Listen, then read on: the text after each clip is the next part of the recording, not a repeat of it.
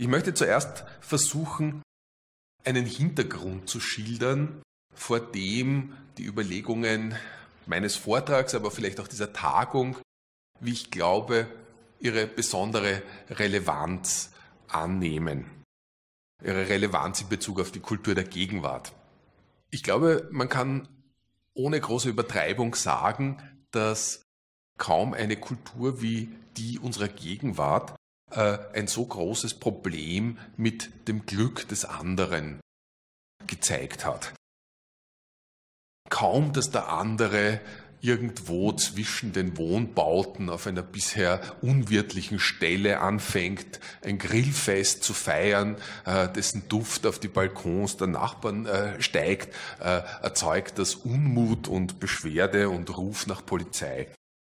Wie ich vor kurzem von äh, einer österreichischen Richterin erfahren habe, ist die Zahl der Beschwerden in Österreich über musizierende Nachbarn in den letzten Jahren drastisch gestiegen. Und das betrifft nicht nur die, die laute Rockmusik hören, sondern zum Beispiel auch klavierübende Pianisten. Also was sozusagen in der Stadt Wien ja doch eine gewisse Tradition hat. Auch das äh, hat sich in den letzten Jahren zu einem massiven Ärgernis für viele Menschen äh, ausgewachsen. Und diese Liste lässt sich natürlich noch weit äh, fortsetzen.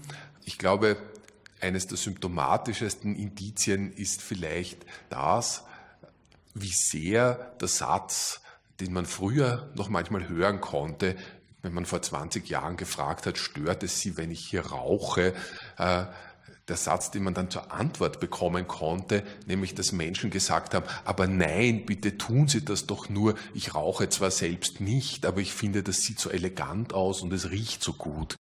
Dieses Wohlwollen gegenüber dem Glück des anderen ist auf eine ganz eigenartige Weise geschwunden, so dass dieser Satz heute wie ein völliger Fremdkörper in unserer Kultur äh, anmuten kann. Und ich glaube, man äh, kann sich nicht genug darüber wundern, wie schnell das passiert ist und warum das passiert ist und ich werde in der Folge auch versuchen, eine Begründung anzugeben.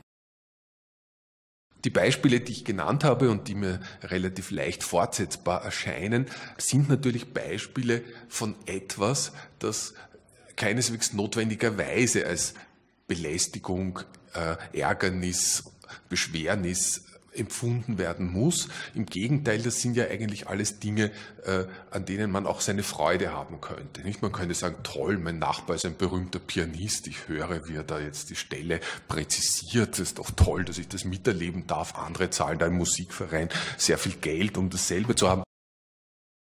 Oder ich könnte sagen, aha, das ist doch wunderbar, da, da beleben lustige Menschen diese Städte, die bis dahin eine Art Müllplatz war. Jetzt äh, ist dort eine heitere Stimmung. Wenn ich vielleicht ein bisschen Salat mache und den mitbringe, bin ich auch eingeladen und kriege auch ein Lahmkotelett. Also man könnte das äh, sozusagen alles eigentlich auch eben als eine Freude und Anlass zur Freude empfinden.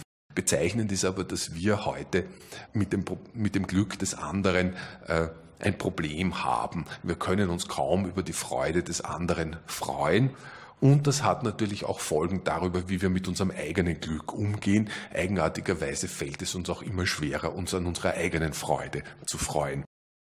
Das hat unmittelbar eine Folge in Bezug auf das, was heute Politik heißt das hat entscheidende Folgen dafür, was man heute als einen postpolitischen Staat bezeichnen kann. Also einen Staat, der nicht mehr äh, sich zur Aufgabe setzt, die Individuen zu fördern, zum Beispiel durch Zugang zu Bildung oder solchen Ressourcen, so dass die Individuen sich entfalten können und dadurch einem allgemeinen Glück irgendwie Vorschub leisten können, von solchen Aufgaben fühlt sich der heutige Staat weitgehend überlastet äh, und beschränkt sich daher darauf, polizeiliche Maßnahmen zu treffen, damit die Individuen in ihrer privaten Glücksentfaltung nicht anderen Individuen zu sehr auf die Zehen steigen und zum Ärgernis fallen. Das ist alles, wozu sich der Staat heute noch imstande fühlt diesbezüglich. Diese Postpolitik ist begleitet auch von etwas, was man eben als Pseudopolitik bezeichnen könnte. Ein Staat, der seine wichtigsten Aufgaben, etwa Regelung der Finanzmärkte, äh, vernachlässigt, äh, beschränkt sich darauf, in gouvernantenhafter Weise die Individuen ständig zu gängeln und ihnen irgendwelche neuen Vorschriften Sturzhelmpflicht beim Fahrradfahren und so weiter aufrecht aufzuerlegen. Ähm, so, als ob die Staatsbürger infantile, unzurechnungsfähige Individuen wären. Äh, der Staat gewöhnt sich durch eine Reihe solcher Maßnahmen zunehmend an diese Vorstellung. Ähm, das scheint mir insbesondere dort wichtig, wo die Individuen permanent in der Rolle ganz schwacher Agenten äh, angerufen werden. Also wir haben eine Reihe sozusagen von äh, Instanzen, die ständig Individuen finden, die wahnsinnig schwach sind und geschützt werden müssen.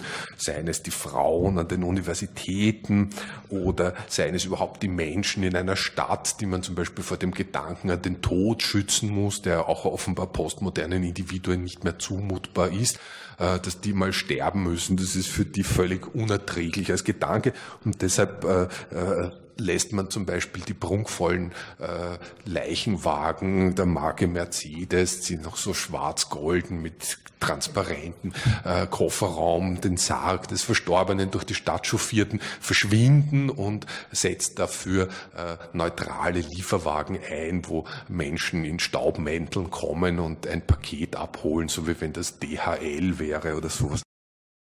Andere Schwache sind zum Beispiel auch äh, die, die angeblichen Nutznießer von Bologna-Reform und Universitätsprivatisierung. Das sind auch ganz schwache Menschen, das sind so ganz bildungsferne Studierende, äh, denen man alles vorschreiben muss an der Universität, weil sich diese armen Bildungsfernen sonst dort überhaupt nicht zurechtfinden. Ich habe zwar in 20 Jahren Universitätsarbeit noch nie so einen getroffen, dem das genützt hätte, wenn man ihm alles vorschreibt, aber äh, offenbar äh, ist dieses Phantom wirkmächtig genug, um sich in äh, administrativen Maßnahmen zu realisieren. Äh, oder dann gibt es natürlich auch ähm, die ganz kulturarmen Menschen, also die, die aus einem fernen Land kommen, wie äh, zum Beispiel Kasachstan, äh, wo unser Freund Borat herkommt, der eben leider gar keine Kultur hat und auch das muss man sozusagen mit dem größten Verständnis wahrnehmen, anstatt zu sagen, na wie ist das eigentlich bei Ihnen, ne, äh, haben die Leute unglaubliches Verständnis dafür, dass Borat eben leider gar keine Kultur hat. All diese Maßnahmen, glaube ich, bilden eine Schulung im in der Gewöhnung an die Vorstellung, dass Individuen heute nicht fähig wären, das, was sie für ihre Identität halten, auch nur einen Schritt weit hinter sich zu lassen. Äh, wir werden gewöhnt an die Vorstellung, dass die Identität der Individuen sozusagen das Beste in ihnen wäre und zugleich auch an die Vorstellung, dass die Identität eben immer das Schwächste an diesen Individuen ist. Also die Schwäche ist das Beste an ihnen. Das hat, glaube ich, eine entscheidende Folge, auch in Bezug darauf, wie sich Politik heute darstellt. Mir fällt auf, dass es hier so ein Symptom von Entscheidungsfurcht gibt. Also äh, Entweder werden Entscheidungen plötzlich verschleiert zunehmend. Das, was noch vor 10, 15 Jahren Politiker eigenmächtig entschieden hätten, wird heute hinter einer Fülle von Gutachten und Expertisen sozusagen äh, verschleiert.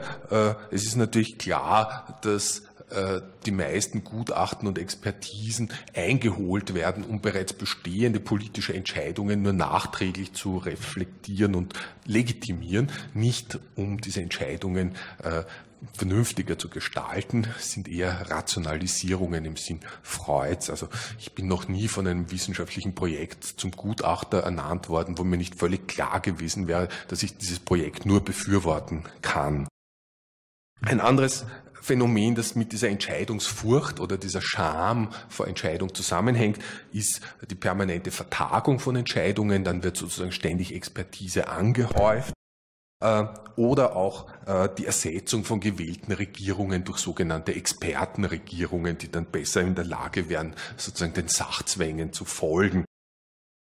Die Kehrseite, glaube ich, dieser Entscheidungsscheu ist auch wieder diese Miniaturpolitik, die sich in so Schnellschüssen äußert, wie äh, den Verordnungen zum Biosprit oder zur Bildung von Rettungsgassen oder sowas. Also auch diese Beflissenheit im Detail, die dann auch zu diesen Schnellentscheidungen führt, die völlig chaotisch sind und mehr Übel anrichten, als sie eigentlich vermeiden, ist, glaube ich, typisch für diese Situation. Damit möchte ich versuchen, äh, auf die Feste und ihre grundlegende kulturelle, ästhetische und politische Funktion zu kommen. Der Kulturtheoretiker Johann Heusinger hat 1938 in seiner Studie Homo Ludens bekanntlich das Spiel als den Ursprung jeglicher Form von Kultur äh, analysiert. Er hat behauptet, das Spiel sei diese Kernform von Kultur. Allerdings kommt Heusinger immer wieder bei seiner Begründung dieser These zu sprechen auf die besondere Feierlichkeit, zum Beispiel, die im Spiel herrscht, oder eben darauf, dass die Spieler die immer wissen müssen, dass sie spielen, gerade in diesem Wissen in der Lage sind, eine gesteigerte Leidenschaftlichkeit zu erreichen, die er auch als den heiligen Ernst bezeichnet. Diese beiden Bestimmungen, also Feierlichkeit und heiliger Ernst, legen es eigentlich nahe, die Frage zu stellen, warum wählt Heusinger das Spiel als den Kernbegriff seiner Kulturtheorie und nicht das Fest. Alle Spiele sind ja offenbar nach Heusinger so feierlich und von heiligem Ernst geprägt und umgekehrt, da das Spiel der Ursprung jeglicher Kultur ist, sind dann offenbar auch alle Feste Spiele. Wenn man versucht, eine Begründung für diese Wahl Heusingers zu geben, dann kann man, glaube ich, sagen, dass das Spiel etwas sichtbar macht, also der Gebrauch des Spielbegriffs, etwas sichtbar macht, was für den Zusammenhang entscheidend ist, der Heusinger äh, interessiert. Heusinger stellt fest, dass dem Spiel immer eine ganz spezifische Illusion innewohnt, ein ganz bestimmtes Als-Ob. Das Spiel Ludus beinhaltet eine Illusion, Einspielung könnte man auf Deutsch sagen.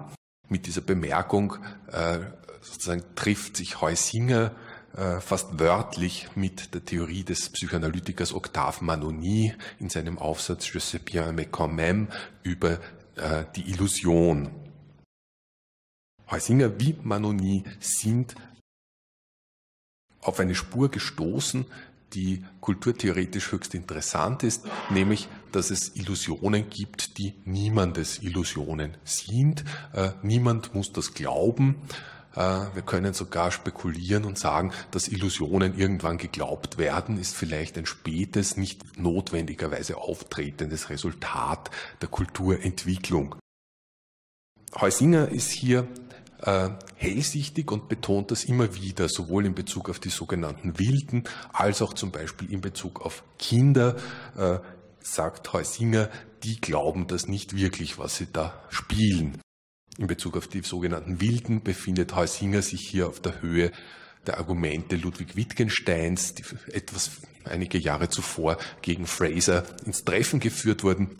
Äh, in Bezug auf Kinder führt Heusinger das schöne Beispiel aus äh, der Erfahrung eines Freundes an. Ein Vater kommt am Abend nach Hause, äh, der kleine Sohn hat hier gerade mehrere Stühle in einer Reihe aufgestellt, um damit Eisenbahn zu spielen. Er sitzt vorne und ist quasi die Lokomotive. Der Vater küsst den kleinen Sohn. Darauf sagt der Sohn, Vater, du darfst die Lokomotive nicht küssen, sonst glauben die Waggons, es wäre nicht echt. Also es ist nicht das Kind, das auf die Illusion hereinfällt, sondern er täuscht sozusagen die Waggons, was eine scharfsinnige, aber auch rätselhafte Erklärung für diesen Vorgang ist. Dieses als ob, das von niemandem geglaubt wird, ist auch die entscheidende Funktionsbestimmung, die Richard Sennett 1974 äh, in seiner Studie The Fall of Public Man entwickelt hat, um den Status des Public Man zu äh, beschreiben. Äh, Sennett stellt fest, dass europäische Zivilisationen etwa seit der Renaissance eine fundamentale Trennung entwickelt haben zwischen der privaten Person und der öffentlichen Rolle, die man spielt, wenn man sich in einen größeren, nicht ausschließlich privaten Zusammenhang begibt. Dann spielt man eben eine Rolle, man wird sozusagen zum Schauspieler seiner selbst, erzeugt wieder so eine Illusion, von der nicht klar ist, wer die Träger dieser Illusion sein könnten. Vielleicht gibt es niemanden, der dieser Illusion Glauben schenken muss, aber zugleich können sich alle an ihr erfreuen. Zivilisiertheit heißt dann, durch das Spielen einer Rolle die eigene Identität im Hintergrund zu lassen und, wie Seinet schreibt, den anderen nicht mit dem eigenen Selbst zu bedrängen. Ein großer Unterschied zu dem, was wir heute erleben, wo alle begierig sind, sozusagen die anderen mit ihrer Identität zu bedrängen. Der Public Man ist, wenn wir das in die Sprache der französischen Revolution rückübersetzen, äh, eine andere Formulierung für den politischen Bürger oder den Citoyen, im Gegensatz zum Bourgeois, der sich nur um die eigenen privaten Interessen, äh, um die individuellen Interessen kümmert. Äh, die griechische Philosophie hatte für diese Figur bekanntlich auch den Begriff Idiot vorgeschlagen, also der, der sich nur um das eigene to Idion kümmert dieses als ob führt uns, glaube ich, auf eine Spur, die eine zentrale Funktion des Festes für die Kultur äh, darstellt. Ich möchte dazu eine kleine Anekdote schildern, die der italienische Schriftsteller Dario Fo in einer Fernsehsendung über die Kultur Italiens erzählt hat. Dario Fo schildert darin, dass er, also er, er sagt zunächst, ähm, wenn man Italien verstehen will, muss man verstehen, wie die Frauen auf der Straße gehen. Ähm, er wisse zwar, hat er gesagt, dass in anderen Ländern es nicht üblich und schicklich sei, die Damen auf der Straße anzuschauen, aber in Italien ist das genau umgekehrt. Äh, dort muss man sie anschauen und wenn man das nicht tut, ist das schändlich. Und die Damen auf der Straße schauen auch und kontrollieren, ob die Männer auch richtig schauen, äh, denn die treiben auch einen Aufwand, wenn sie auf die Straße gehen. Die kommen da nicht einfach so raus, sondern die schmücken sich, die sind elegant und gehen dann in einer ganz bestimmten Weise und dieser ganze Aufwand will ja irgendwie gewürdigt werden. Und das ist sozusagen eine kulturelle Verpflichtung, die die italienische Kultur prägt. Und das lernt jedes italienische kleine Kind. Er kann sich noch genau erinnern, hat Dario Fo gesagt, wenn seine Mutter mit ihm als kleinem Jungen auf der Straße ging und ihn an der Hand hinter sich herzog, hat sie zu ihm gesagt, bohr nicht in der Nase, schau dir die Frauen an. Das ist eine interessante Funktion der Kultur, die von den meisten Kulturtheoretikern übersehen wurde. Einer der wenigen, außer Sigmund Freud, die sie erkannt haben, war Georges Bataille, ähm, der eben erkannt hat, dass die Kultur nicht nur eine einschränkende Macht darstellt, also bei kulturellen Anlässen dürfen wir nicht zappeln, nicht laut sprechen, nicht husten und so weiter. Die Kultur lehrt uns all diese Betätigungen zu unterdrücken, er hat erkannt außerdem, dass die Kultur auch nicht nur eine stimulierende Macht ist, der Aspekt, den Michel Foucault hervorgehoben hat, sondern weiter sagt Georges Bataille, die Kultur ist vor allem eine Macht, die den Genuss gebietet. Es gibt einen kulturellen Befehl zur Lust. Das ist, glaube ich, der entscheidende Punkt an der Anekdote von Dario Fo und seiner Mutter. Äh, und Sie haben hier sozusagen beide Momente, den des Spiels und den des Festes nebeneinander. Sie haben das als ob des Spiels. Der Kleine soll sich so benehmen, als ob er schon ein größerer Mann wäre, nicht nur so ein kleiner Narzisst, der noch in seinem Autoerotismus des Nasenbohrens gefangen ist. Er soll sich wenigstens, auch wenn ihn die Frauen noch nicht wirklich interessieren, so benehmen, als ob das schon so wäre. Ne? Ähm, und auf der anderen Seite haben Sie hier den Befehl zu einer Lust, äh, vor der er sonst vielleicht zurückschrecken würde, die ihm noch fremd ist. Äh, aber er muss sozusagen dieser Lust folgen und das ist ein Befehl, den der öffentliche Raum ihm, also hier vertreten durch die Mutter, erteilt. Das ist, glaube ich, die entscheidende Funktion, die Feste haben. Das ist die wichtigste kulturelle Funktion von Festen, dass sie in der Lage sind, solche Befehle zu geben. Diese Befehle sind immer Überschreitungen einer sonst äh, profanen Ordnung, in der äh, bestimmte Dinge verboten sind.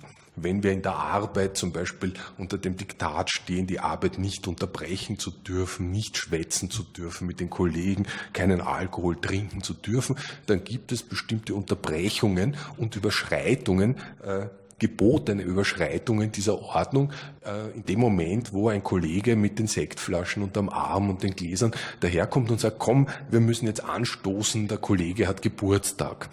Dann äh, kehrt sich die ganze Ordnung der Firma um und plötzlich muss angestoßen werden. Es gibt einen Befehl zur Lust. Es wäre völlig schändlich zu sagen, ja, ja, ich komme gleich, ich schreibe nur noch drei E-Mails oder so. Man muss sofort trinken und es müssen sogar die trinken, denen der Arzt das Trinken verboten hat. Also der kulturelle Befehl ist stärker als die medizinische Verordnung. Die, die äh, äh, das verboten bekommen haben, die kriegen eben so eine kleine symbolische Menge zum Anstoßen eingeschenkt, aber sie können sich nicht völlig asketisch äh, dispensieren. Warum ist dieser kulturelle Befehl zur Lust notwendig? Nun, das kann eigentlich einen nur dann verwundern, wenn man glaubt, dass Menschen zutiefst genussorientierte, spontan hedonistische Wesen wären, also sozusagen kleine triebhafte Lusttierchen, die nur durch ein bisschen kulturelle Intervention dazu gebracht werden könnten, sich ab und zu mal einer höheren Aufgabe zu widmen. Ähm, das mag als ein pessimistisches Bild erscheinen, aber angesichts der Tatsachen ist das immer noch eine fürchterliche Beschönigung der Verhältnisse. Ähm, es ist viel schlimmer. Blaise Pascal hat einmal geschrieben, die Menschen sind mit Freude bereit zu sterben, wenn sie nur glauben, dass irgendjemand darüber sprechen wird. Und Michel de Montaigne hat äh, gemerkt, es ist es gibt keine Idee, die dumm genug wäre, dass nicht irgendjemand gern sein Leben für sie opfern würde. Also Menschen sind viel zu schnell bereit, sich hohen Aufgaben zu widmen. Warum? Äh, weil sie ein Problem mit der Lust des Lebens haben, weil ihnen die Lust als etwas Bedrohliches erscheint. Äh, das ist ein Umstand, den die Psychoanalyse vielleicht wie keine andere Theorie äh, gut herausgearbeitet und erklärt hat. Das Lustempfinden erwachsener, nicht psychotischer Menschen ist strukturiert äh, rund um ein grundsätzlich verlorenes Objekt, das Objekt des kindlichen Narzissmus, äh, einer Phase, wo wir geneigt waren zu glauben, dass das Wünschen, wenn es nur stark genug ist, auch die Dinge wahr machen kann das, was man später dann als symbolische Kastration bezeichnet hat, ist eben jener Vorgang, wo wir einsehen müssen, dass das Wünschen nicht hilft und dass zwischen Wünschen und Wahrmachen ein Unterschied besteht. Äh, damit geht etwas verloren, was einst lustvoll war, nun aber für erwachsene, nicht psychotische Menschen äußerst unlustvoll ist, wenn es plötzlich von der Seite der Wirklichkeit wieder zu kehren scheint. Das sind die Erfahrungen des Unheimlichen, wie sie zum Beispiel den Rattenmann, einen Patienten Freuds betreffen, der im Scherz einem alten Herrn den Tod wünscht. Kurz darauf fällt der Herr tot um.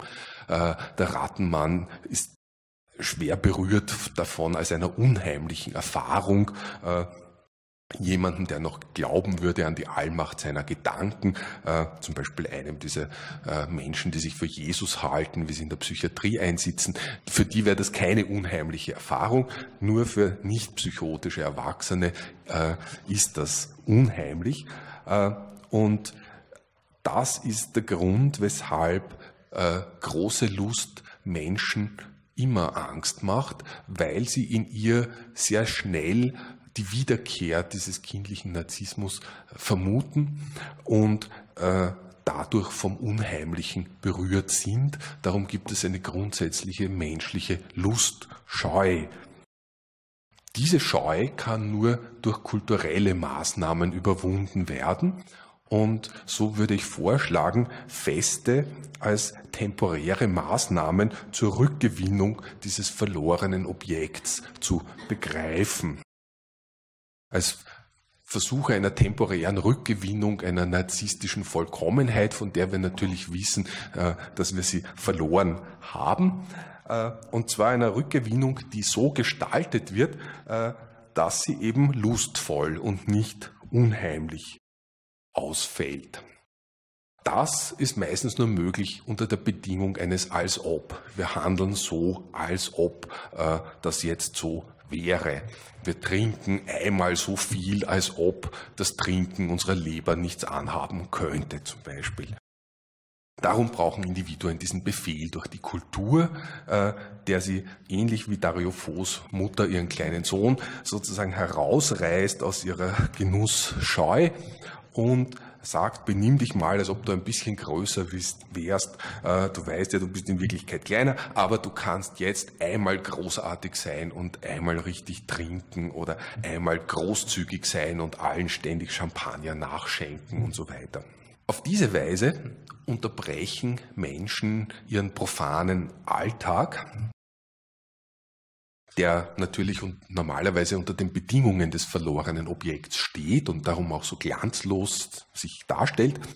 Äh, und durch kleine Unterbrechungen dieses profanen Alltags, äh, etwa wenn zwei Kollegen sagen, komm, jetzt gehen wir mal auf einen Kaffee und äh, reden nicht über die Arbeit, dann erzeugen sie das, was Michel Leris äh, hellsichtig als das Sacré Quotidien oder als das alltägliche Heilige bezeichnet hat. Eine temporäre, miniaturhafte Wiederkehr sozusagen einer narzisstischen Vollkommenheit, wo man eben nicht nur äh, für den eigenen Lebensunterhalt arbeiten und nur die nützlichen Dinge besprechen muss, sondern sich so verhalten kann, als hätte man keine Sorgen. Um solche Momente herstellen zu können, ist es notwendig, sie mit etwas Ungutem zu markieren. Das ist die entscheidende Funktion zum Beispiel von Alkohol bei solchen Übergangsriten. Äh, es ist kaum vorstellbar, dass man den Geburtstag erwachsener Menschen anders als mit einem alkoholischen Getränk feiern kann. Wenn das nicht der Fall ist äh, in Kulturen, die äh, Alkoholverbote haben, weil sie sich von heidnischen Kulturen absetzen mussten, wo der Alkohol heilig war, ähm, äh, dann geht das zum Beispiel nur, indem wieder ein anderes ungutes Element wie das der Verschwendung eingeführt wird, also dass dann tagelang gegessen werden muss oder so etwas. Alle diese Dinge, die wieder Alkohol uns in die Lage versetzen, plötzlich zu sagen, jetzt haben wir das Gefühl, am Leben zu sein, jetzt haben wir das Gefühl, wirklich zu leben, jetzt lohnt sich das Leben, äh, haben bezeichnenderweise so eine ungute Seite an sich. Also der Alkohol schädigt die Leber, die Sexualität ist entweder unanständig oder unappetitlich, Musik hören ist Zeitverschwendung, äh, die Party auszurichten bedeutet Verschwendung von Geld und so weiter. Das können wir eigentlich nur machen und äh, als lustvoll empfinden, wenn wir uns so verhalten, als ob es nichts ausmachte, wenn wir kurz einen kulturellen Befehl äh, spüren und äh, uns über die normale Lustscheu, die vor diesem Unguten zurückschreckt, äh, hinwegsetzen, eine Überschreitung begehen und uns zum Beispiel sagen, gut, ich bin hier jetzt in einer eleganten Bar, wo cooler Jazz herrscht, ich kann hier jetzt nicht einfach ein Mineralwasser bestellen. Ne? Dann äh, muss ich etwas anderes tun, dann muss ich vielleicht einen Whisky bestellen und dann in dieser Situation wird dieser Whisky plötzlich zu etwas Großartigem, etwas, das mir beweist, dass es sich zu leben lohnt. Gerade das Ungute der Sache äh, wird durch diesen kulturellen Befehl, benimm dich jetzt wie ein Erwachsener, führ dich jetzt ja nicht wie ein Kind auf, durch diesen kulturellen Befehl gelingt es uns, gerade das Ungute der Sache in etwas Erhabenes zu verwandeln. In anderen Sprachen ist der Terminus für das Erhabene auch das Sublime. Dieser Vorgang, wo das Ungute in etwas Großartiges verwandelt wird, könnten wir psychoanalytisch auch korrekt als Vorgang der Sublimierung bezeichnen.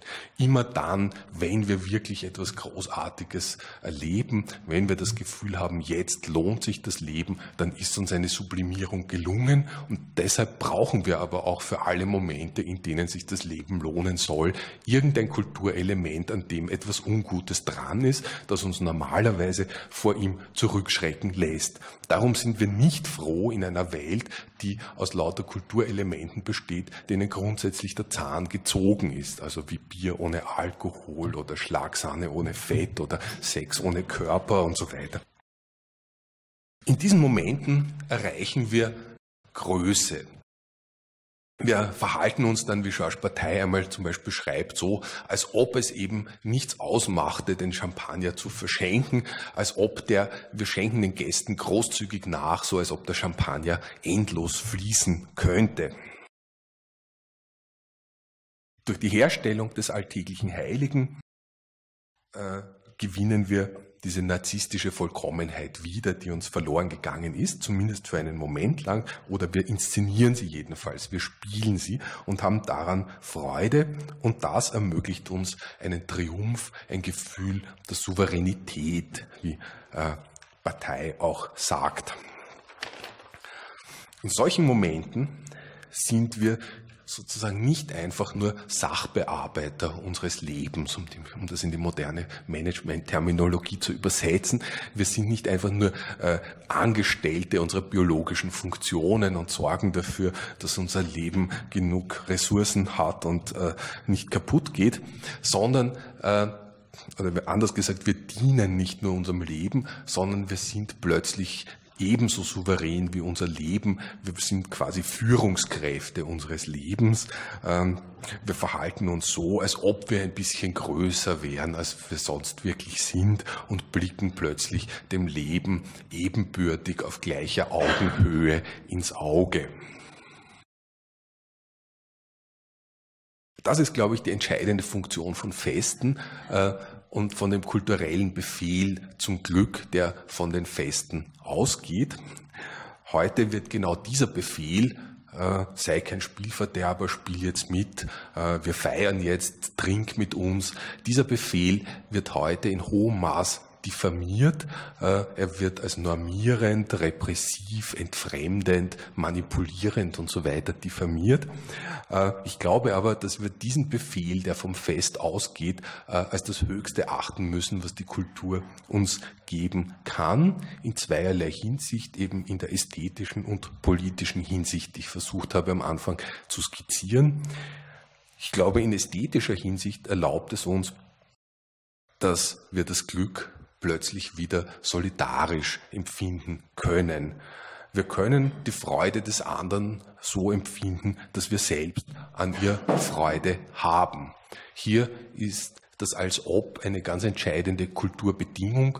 Das wäre meine Erklärung auf die Frage, warum der Satz, bitte rauchen Sie doch nur, ich rauche zwar selbst nicht, aber ich habe Freude daran, weil das so schön aussieht und so gut riecht, warum dieser Satz verschwunden ist.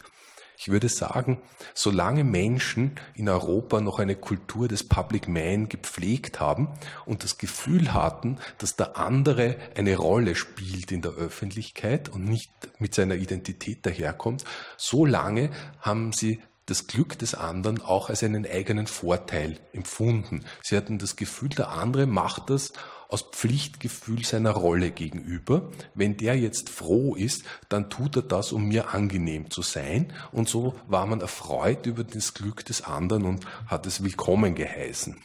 In dem Moment, wo das Rollenspiel des Public Man verschwindet und untergeht, in dem Moment, wo wir den anderen nicht mehr als einen Spieler eines als ob wahrnehmen, dann reagieren wir so wie Jean-Luc Godard einmal auf äh, italienische Touristen, als er sagte, dieser Italiener mit ihrer elenden guten Laune. Also er hatte nicht das Gefühl, dass die Italiener einer Kultur des Baltesare Castiglione folgend sozusagen sich verpflichtet fühlen, im öffentlichen Raum mehr Freude darzustellen, als sie vielleicht wirklich empfinden, äh, sondern er hatte das Gefühl, sozusagen aus irgendeinem Grund haben die ihre narzisstische Vollkommenheit nie aufgeben müssen. Äh, die sind sozusagen in einem infantilen Stadium der Heiterkeit stecken geblieben und belästigen uns jetzt mit ihrem nicht überwundenen Narzissmus. Und das ist, glaube ich, sozusagen das Grundprinzip heutigen postmodernen Neids auf das Glück des anderen. Wir sehen den anderen eigentlich immer als unkastrierten, äh, quasi psychotischen, äh, nicht erwachsenen anderen, der uns mit seinem ursprünglichen identitären Glück jetzt behelligt und der eigentlich die Ursache unserer Kastration ist. Ne? Der raucht und genießt das irgendwie so, wie wenn das für ihn gesund wäre und wir müssen das einatmen und sind den Bedingungen des ungesunden Lebens unterworfen und das halten wir eigentlich nicht aus. Also in dem Moment, äh, wo wir den anderen nicht als Spieler, Darsteller eines als ob und äh, als Befolger der entsprechenden Verpflichtung wahrnehmen, sondern als private, authentische Identität, in dem Moment wird sein Glück für uns zu einer unerträglichen Belastung, weil es eben wieder die Wiederkehr dieses verlorenen Objekts für uns bedeutet, äh, dass wir es unerträglich empfinden würde das Fest äh, wieder rehabilitiert und der Befehl des Festes, nimm dich zusammen, benimm dich wie ein Erwachsener, bohr nicht in der Nase und so weiter, äh, entsprechend respektiert, dann glaube ich, würde auch die Politik wieder entscheidungsfähig werden. Entscheiden würde nicht mehr im Geruch des finsteren Despotismus stehen, sondern es würde betrachtet werden als ein notwendiger Teil politischer Vernunft, als eine Verpflichtung der Rolle, die dem politischen Leben als solchen anhaftet und nicht als eine identitäre Willkür. Darum glaube ich, können wir das Fest sowohl in seiner ästhetischen als auch in seiner politischen Funktion nicht hoch genug einschätzen. Ich danke Ihnen.